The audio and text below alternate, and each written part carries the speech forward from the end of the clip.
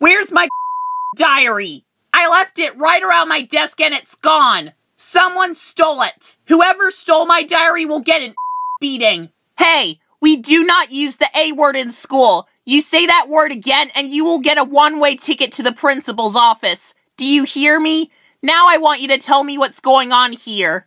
My diary is gone and someone stole it. No, Billy, I have it. Punky, you're the one that stole my diary? I didn't steal it. I accidentally took it. I'm sorry. We are going out in the hallway to talk more. Punky, this is all your fault. You don't take other people's diaries. I didn't mean to take it. Punky, you thief! You must have broke into my pages and read them! I didn't even break into your diary and read your pages. That's it! Time to die, you barging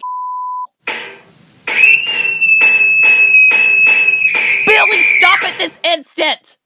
We do not assault classmates in school! Get into my office right now! Your teacher is going to hear about this!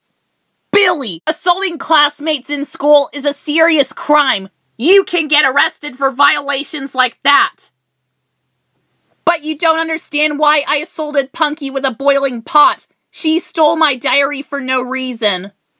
But I didn't mean to take Billy's diary. That was an accident. Billy, Punky did not mean to take your diary, and that was no excuse for what you did.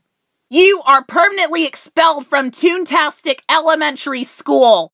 Billy, what is your problem? You got expelled from school for assaulting one of your classmates with a boiling pot. You're grounded for 57 months. Go to your room now. We hate you, boy.